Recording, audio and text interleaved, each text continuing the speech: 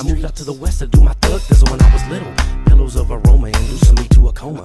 Damn, these Cali buds got kicked like Sonya. I need a lung donor after smoking this shit. In New York, my relics be picking through stems and sticks. Like a Batman utility belt, I stay equipped. Cause you never know when a motherfucker's gonna trip. I sport many kicks. We're hyphy fools with Nike swooshes, Adidas and Wu-Tang Wallabee shoes. Feds trying to follow me, Crown Vics. Must have heard the breaking news that I've been getting it. Flipping and stacking, dipping while I'm laughing.